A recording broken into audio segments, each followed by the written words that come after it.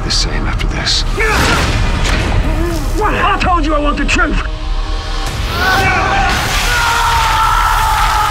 And much worse if the Batman hadn't been there. There will be scars. I need to know everything they told you. Well, if you really care about the safety of Gotham, why aren't you looking at Bruce Wayne? You're being asked to step down from your position as CEO. Handle the children of Arkham without your help. Harvey won't be pushed around anymore. No, he's gonna make them pay. You there? Do you want the good news or the bad news? You have to face the truth sometime, Batman. You can't protect Gotham from itself.